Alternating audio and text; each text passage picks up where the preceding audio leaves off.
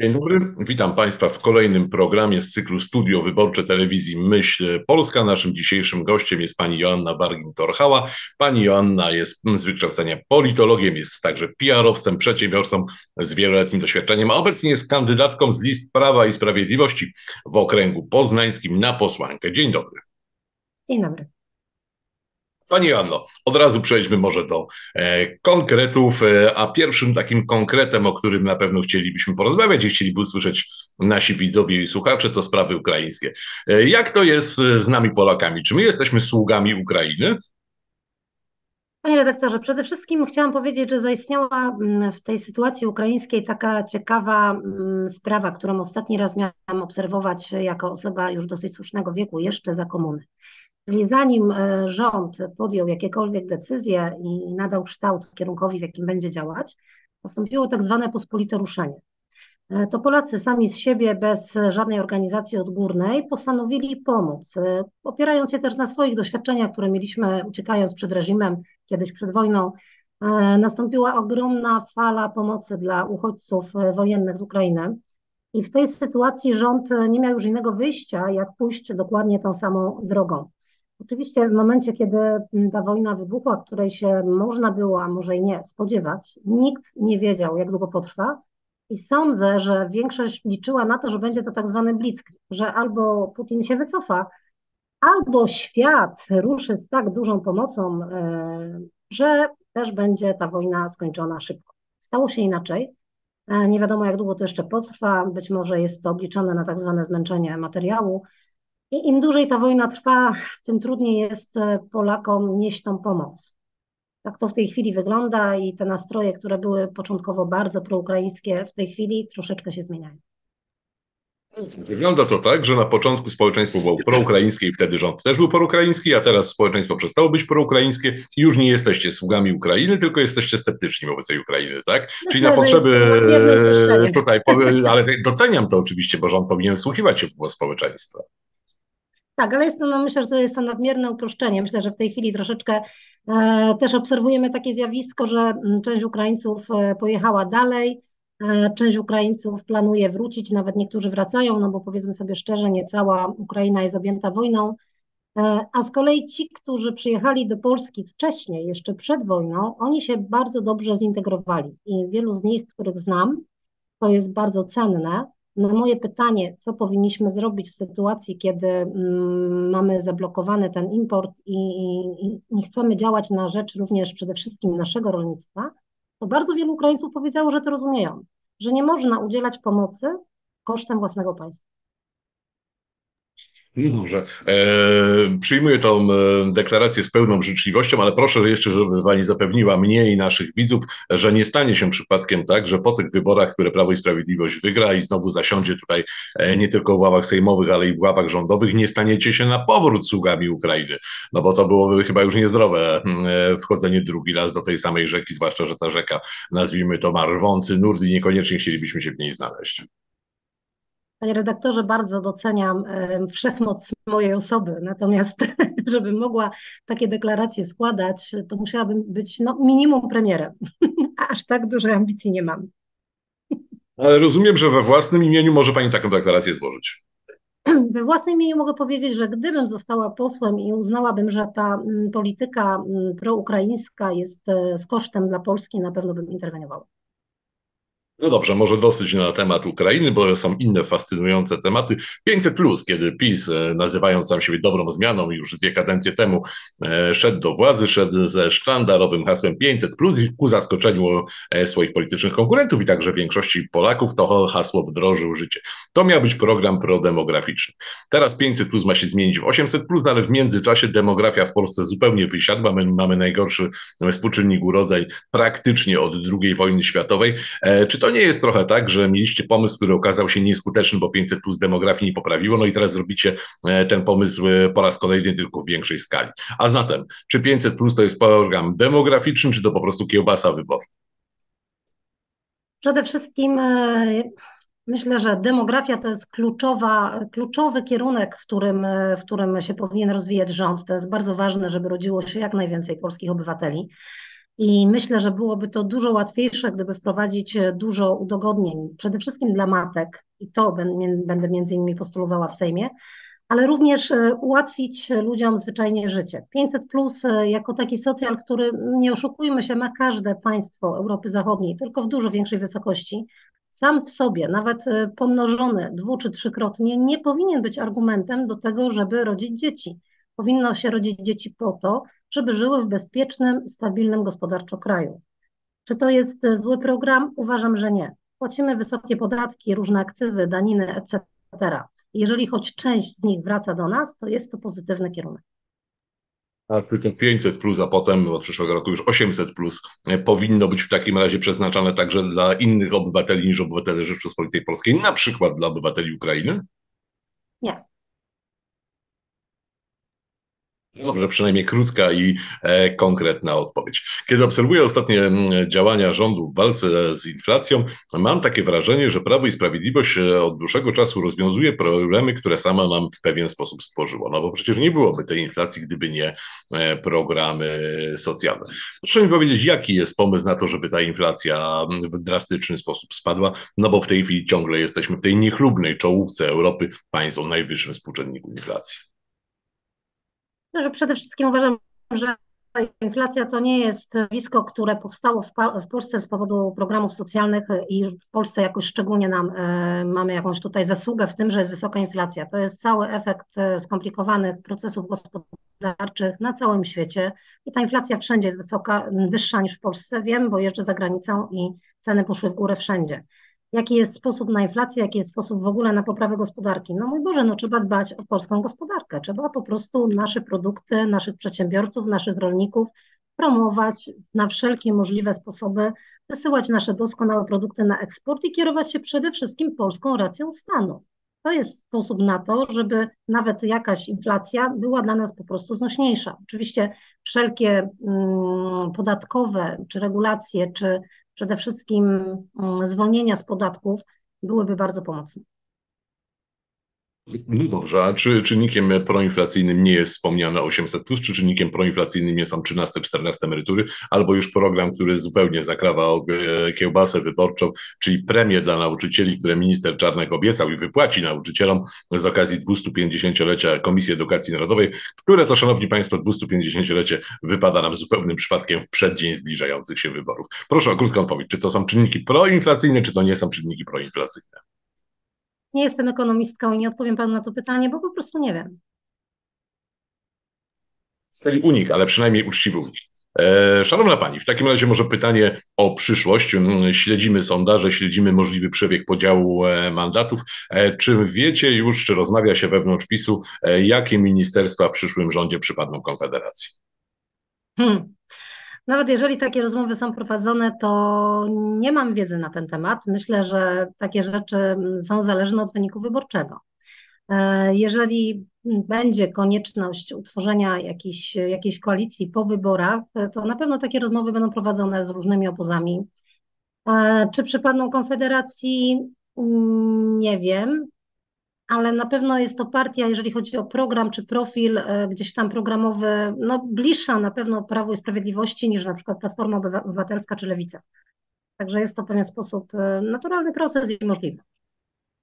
Pani senator Jadwiga Rotnicka e, powiedziała, że wolałaby dogadać się z wami, czyli z PiSem, ale senator, jest przedstawicielką Platformy Obywatelskiej, niż z Konfederacją. E, taki sojusz ewentualny z Platformą jest możliwy. Może to takie wyciągnięcie ręki ze strony poznańskiej pani senator, e, na pewno pani zresztą przecież znanej, skądinąd bardzo sympatycznej i kulturalnej osoby. Także może tędy droga na stworzenie szerokiej koalicji do rządzenia Polską. To znaczy, panie redaktorze, no od 1989 roku pod różnymi nazwami i w różnych konfiguracjach rządzi w Polsce e, albo Prawo i Sprawiedliwość, albo Platforma Obywatelska, więc w zasadzie dużych, e, dużych jakichś tutaj zmian e, nie ma, albo jest jedno, albo drugie. Natomiast mam taką zasadę, że staram się nie oceniać ani nie komentować sąsiadów, w związku z czym deklaracji pani Rotnickiej, która jest moją sąsiadką bezpośrednią, nie będę komentować.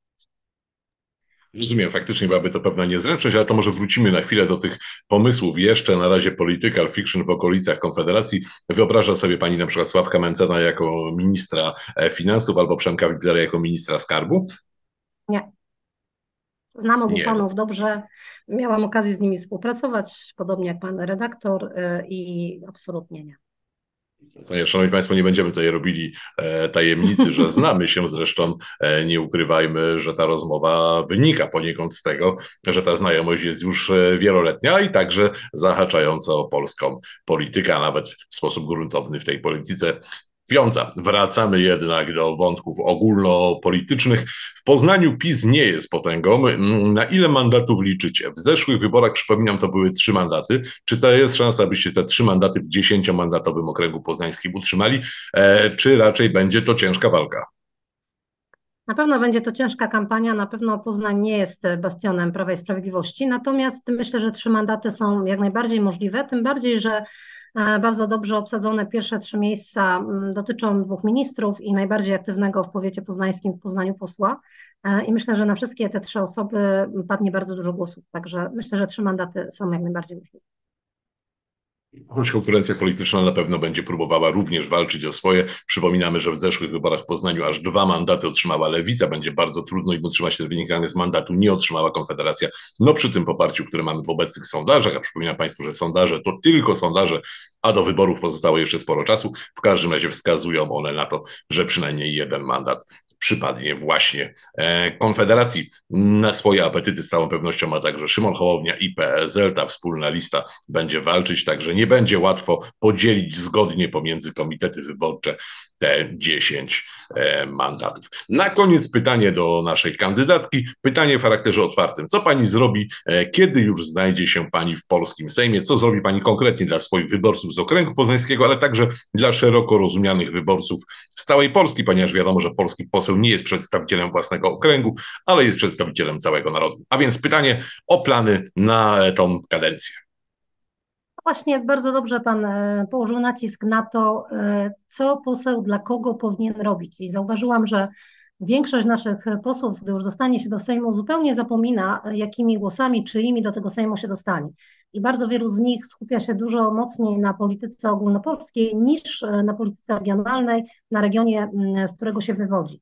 I to jest bardzo duże, duże niedopatrzenie. Kolejna rzecz, uważam, że poseł to nie jest osoba, która dostała się do fajnej pracy i zarabia fajne pieniądze, nie robiąc absolutnie nic, tylko jest to osoba, która ma zobowiązania i której e, zarobki e, pochodzą od obywateli. I tak jak wielu przedsiębiorców e, zwalnia nieefektywnych pracowników, tak poseł, który nic nie robi albo robi niewiele, również powinien być przez wyborców zwolniony. E, dlatego na pewno będę skupiała się nad potrzebami i wołaniem e, całego mojego regionu, nie tylko ewentualnie wyborców e, mojej listy, tylko wszystkich. Jest dużo do zrobienia w Wielkopolsce, jest jeszcze więcej do zrobienia w Poznaniu i na pewno ten region jest mi najbliższy i na pewno nad nim bym się pochylała z największą troską. Natomiast ogólnopolsko to też już zahaczyliśmy o ten temat, ponieważ korzenie moje są w partii dosyć wolnościowej podatkowo i ponieważ mówiliśmy też o silnej gospodarce i o tym, żeby inflacja była jak najniższa, to na pewno będę zmierzać do tego, by wprowadzono coraz więcej takich przepisów, które pozwolą przedsiębiorcom bezpiecznie i nie tylko bezpiecznie, ale też efektywnie prowadzić działalność, działać w ten sposób, żeby mm, przede wszystkim dochody ich firmy, a nie biurokracja i administracja e, towarzyszyły mm, ich działaniom. To jest dla mnie kwestia kluczowa. Małe i średnie przedsiębiorstwa to jest trzon naszej ziemi, trzon naszej gospodarki i o nie powinniśmy zadbać najbardziej. I ostatnia rzecz, e, ponieważ sama jestem matką, jestem kobietą, e, wiem, jak trudne były dla mnie wszystkie okresy po urodzeniu dzieci, jak trudne były mm, sytuacje finansowe wtedy, kiedy stawałam przed ciężkim bardzo wyborem, czy dziecku dać matkę, czy dziecku dać instytucję e, i musiałam na tych urlopach wychowawczych gdzieś tam pracować. Mm, to, co wymógł na nas COVID, czyli praca mm, zdalna, powinien być dla matek, które oczywiście mogą to robić, powinien być wprowadzony dla matek na urlopach wychowawczych po prostu z ustawy. Czyli jeżeli kobieta jest na urlopie wychowawczym, chce wrócić do pracy, a ma małe dziecko w domu, powinna mieć takie prawo.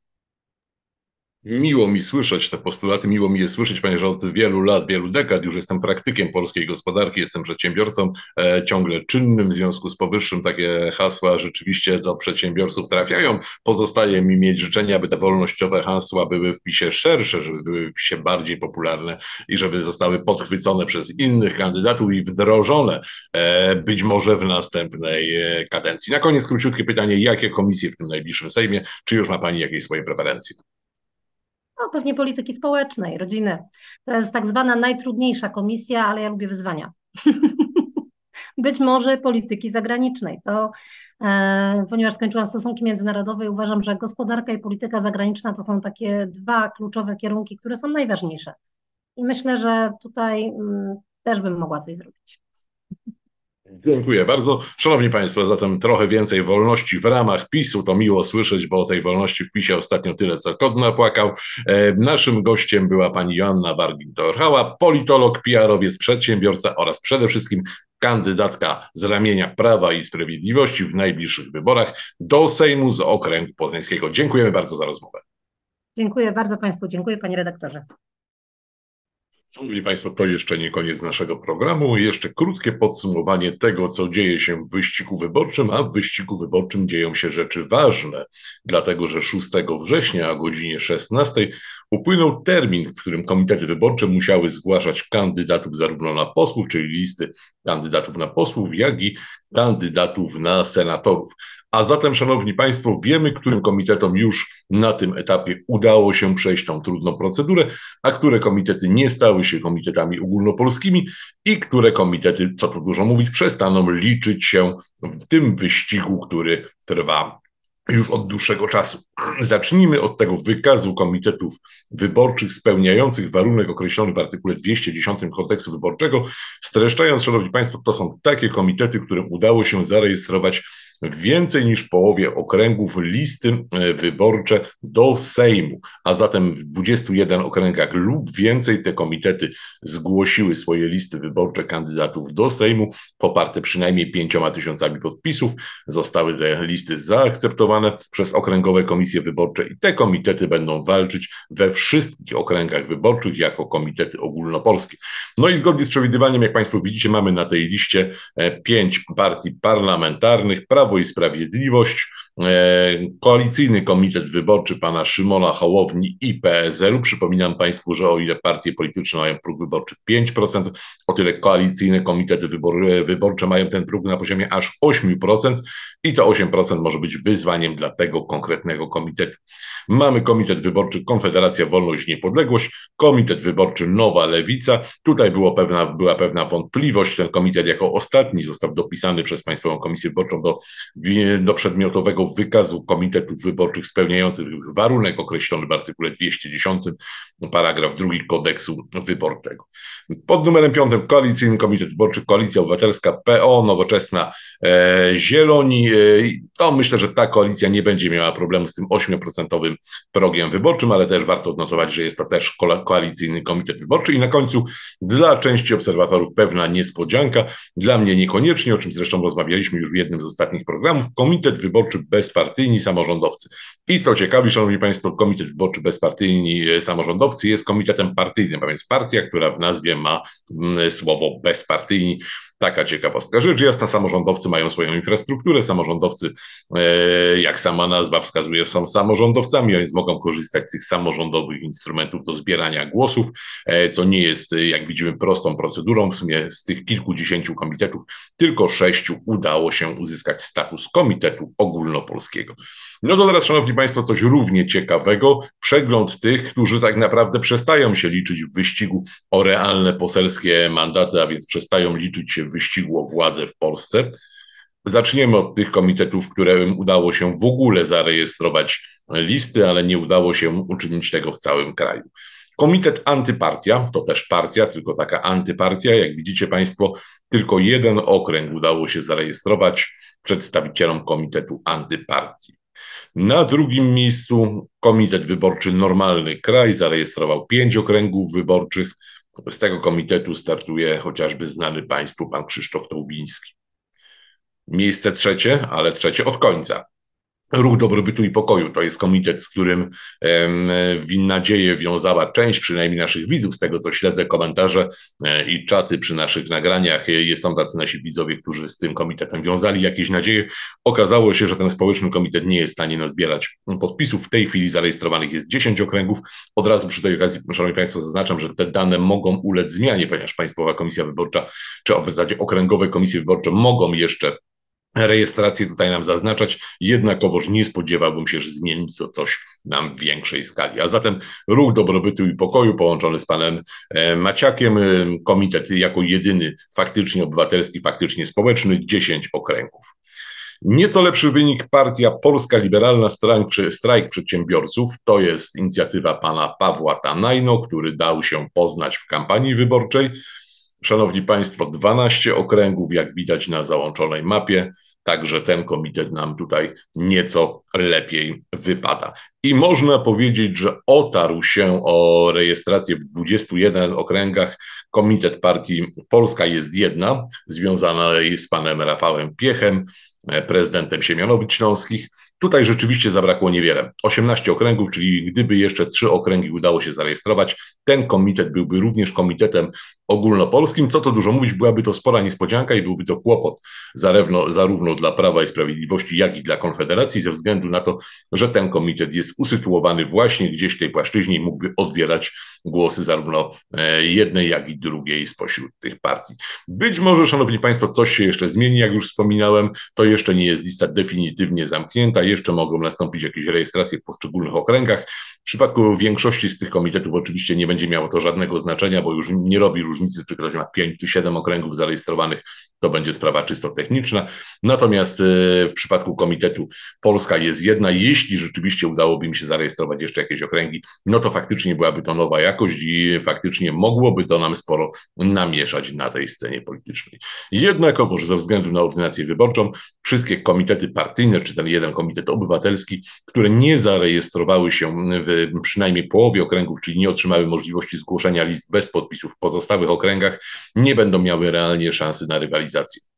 Wynika to przede wszystkim z systemu progów procentowych, konieczności uzyskania 5% w przypadku Komitetu Wyborczego i 8% w przypadku e, Koalicyjnego Komitetu Wyborczego, aby uzyskać realne mandaty parlamentarne. No to czysta matematyka wskazuje, że jeśli ktoś nie jest zarejestrowany we wszystkich okręgach albo we lwiej jej większości, to te jego szanse na uzyskanie mandatów parlamentarnych po prostu diametralnie spadają. De facto e, ich nie ma. W związku z powyższym można powiedzieć, że ten etap rejestracji list to był taki etap prawdziwego przesiewu. Widzimy teraz, które komitety będą liczyły się w walce o poselskie mandaty, a na dzień dzisiejszy tych komitetów jest sześć. No i na końcu jeszcze jeden komitet, o którym muszę wspomnieć i który będzie liczył się w walce o poselskie mandaty, to mniejszość niemiecka. Widzicie tutaj Państwo mapkę, która wskazuje, że mniejszość niemiecka tradycyjnie zarejestrowała nam się tylko i wyłącznie na Opolszczyźnie.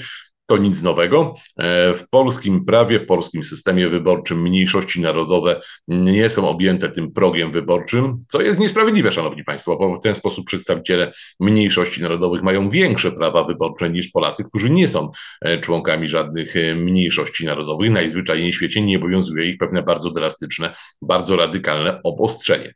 I to, Szanowni Państwo, jest przyczynek, abyśmy zastanowili się nad tym, czy to nie będzie kłopot na najbliższe lata.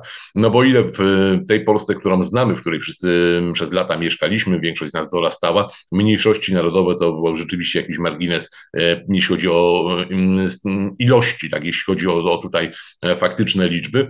O tyle obecnie Polska przestaje być krajem monoetnicznym i za chwilę uprzywilejowanie mniejszości narodowych także w tym aspekcie wyborczym, może skończyć się tym, że na przykład z Wrocławia, czy na przykład z Rzeszowa albo Przemyśla będzie kandydowały tutaj listy mniejszości, dajmy na to ukraińskiej i nie będzie dotyczył ich ten próg wyborczy. A więc, szanowni państwo, a także szanowni obecni i przyszli ustawodawcy, to jest, zdaje się, ostatni moment, abyśmy bardzo wyraźnie pochylili się nad tym zapisem.